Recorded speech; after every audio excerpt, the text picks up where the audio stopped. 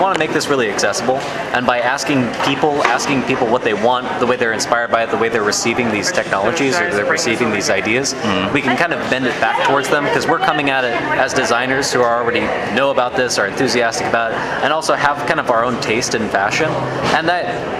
to keep from being completely obscure and completely uh, missing the point of what a lot of people want to see, we keep asking people who are viewing this, people who get led to it, or trying to ask anyone possible what they want to see and what inspires them so we can reflect on it.